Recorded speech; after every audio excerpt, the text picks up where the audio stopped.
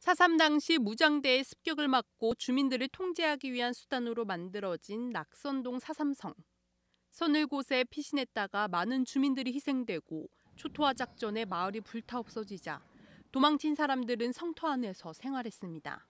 흐르는 시간 속에 낙선동 역시 훼손되고 일부는 사라졌지만 제주도가 지난 2009년 복원 사업을 추진해 재건됐습니다.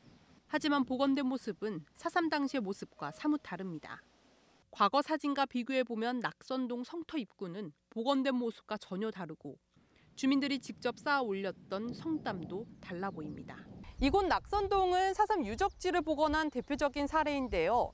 하지만 당시 상황과 동떨어지게 복원이 이루어지면서 오히려 역사를 왜곡한 것이 아니냐는 지적이 일기도 했습니다. 18억 원의 혈세를 투입해 복원된 낙선동은 결국 부실한 고증과 자문으로 엉터리 복원이라는 감사위의 지적을 받았습니다. 사삼 당시 민간인 수용소로 이용됐던 옛 주정 공장.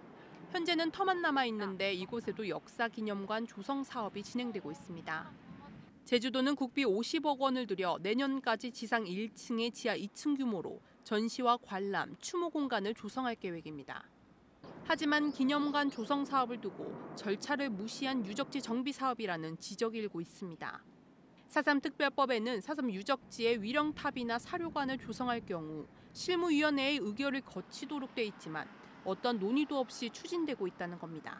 역사 유적지라면 도민들에게 충분히 알리고 도민 의견도 수렴하는 다시 말해서 토론이나 공청회 절차가 있어야 됨에도 불구하고 그런 사실이 전혀 없다는 데서 매우 유감이고 안타깝습니다.